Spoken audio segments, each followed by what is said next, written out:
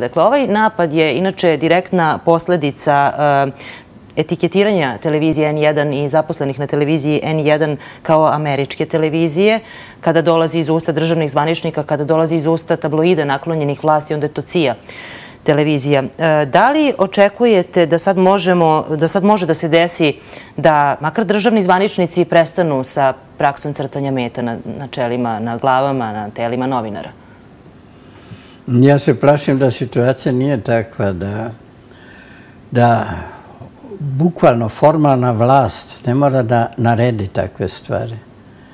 Ljudi su do te mere nesrećni u svoje nemaštini, o svojoj bedi, o svojoj bezizlaznosti, da se hvataju za ideje. To je u Srbiji možda naročito dramatično, ali kad se vidi, recimo, u Nemačkoj, koja važi kao uređena država, kako rulja napada ljude koji izgledaju arapski na ulici i bije ih i pali im kuće.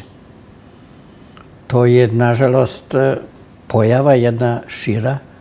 Kod nas u našoj situaciji nesećne tranzicije i mnogo toga jako dolazi do izražaja postoje te grupe navijača i ne znam, ja to naravno ne znam detaljno. Tako da strah da to može da bude još i gore.